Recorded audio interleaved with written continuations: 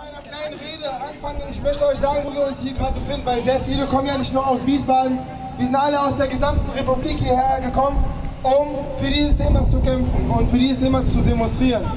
An diesem Ort gab es früher eine Synagoge. Das ist ein sehr symbolträchtiger Ort. Hier wurden sehr viele Menschen ermordet. Aber ich sage euch eins, wir sind hier und wir bleiben hier. Das wird uns nicht passieren. Das wird uns nicht passieren. Ich möchte einen kleinen Beitrag euch erzählen von Jungs ohne Grenzen von uns zu dem Thema Fluchtursachen. Ihr wisst, sehr viele Menschen kommen nach Deutschland, natürlich nicht, weil das Wetter hier so schön ist. Es gibt sehr viele Gründe, warum Menschen nach Deutschland kommen. Viele wisst ihr schon.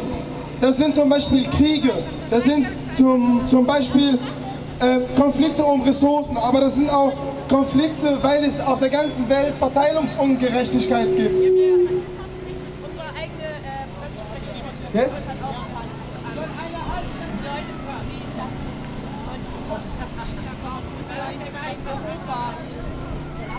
So, das heißt, es gibt sehr viele Ressourcen auf dieser Welt, aber die sind sehr ungerecht verteilt. Obwohl die Weltwirtschaft in den letzten, in den letzten 60 Jahren um das Siebenfache angestiegen ist. Wir sind siebenmal reicher als vor 60 Jahren. Trotzdem ist es so, dass sehr viele Menschen auf der Welt sehr arm sind. Die Hälfte der Erdbevölkerung verdient immer noch viel weniger als 400 Familien, als die 400 reichsten Familien auf der Welt. Das heißt, sehr viele Menschen sind sehr reich und sie nehmen in Kauf, dass sehr viele Menschen dafür sterben werden. Zum Beispiel im Kongo, wenn dort Milliarden, Milliarden verdient werden, diese Milliarden bleiben bei wenigen Menschen und Groß, der Großteil der Menschen vor Ort muss sterben und muss hungrig sterben.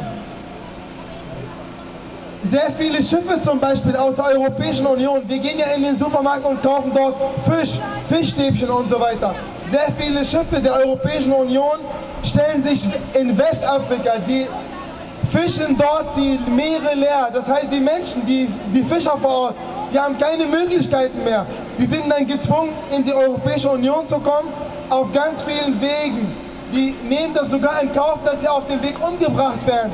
Die nehmen das in Kauf, dass sie auf diesem Weg vielleicht ertrinken. Und trotzdem machen sie sich auf den Weg zu Europa, um in dieses Paradies zu kommen. Das ist für sehr viele nicht nachvollziehbar, aber im Vergleich zu sehr vielen Ländern, die ausgebeutet werden, ist das hier das Paradies. Das muss man sich mal vorstellen. Wir leben hier im Paradies. Und ein sehr, sehr großer Wert ist für uns natürlich im Westen diese Bewegungsfreiheit. Wenn ich hier keine Lust mehr habe, in Deutschland zu leben, dann kann ich einfach meine Koffer einpacken und irgendwo in den Süden fahren. Ich kann nach Thailand fliegen, ich kann nach Afrika fliegen, ich kann überall hinfliegen. Ich kann mich dort neu orientieren, ich kann dort eine Arbeit finden und so weiter. Ich darf mich überall auf der Welt be bewegen. Ganz im Gegenteil, wenn ich das mache, dann bezeichnen mich die Menschen als mutig, als risikohaft, als, als, als, als ein sehr guter Mensch. Aber wenn Menschen aus Afrika zu uns kommen, weil sie sich hier ein besseres Leben erhoffen, weil sie keine Möglichkeit haben, dort zu leben, dann werden sie bezeichnet als Gauner, dann werden sie bezeichnet als Lügner, dann werden sie gezeichnet als Schmarotzer. Und das geht natürlich nicht, das geht nicht.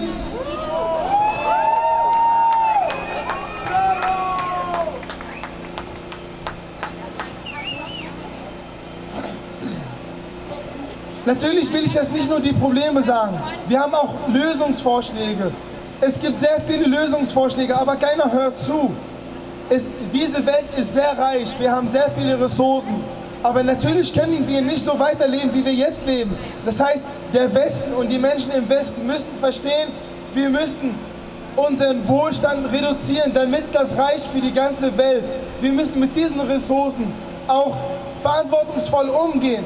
Wir, Mensch, wir müssen dafür sorgen, dass Menschen, die auf dieser Welt leben, alle die gleichen Chancen haben. Und natürlich schaffen wir das von Jugend ohne Grenzen nicht alleine. Deswegen hoffen wir, dass es weiterhin solche Aktionen gibt und dass viele Menschen sich daran beteiligen. Und ein Spruch stammt von uns von ganz, ganz früher. Seien wir realistisch und versuchen wir das Unmögliche.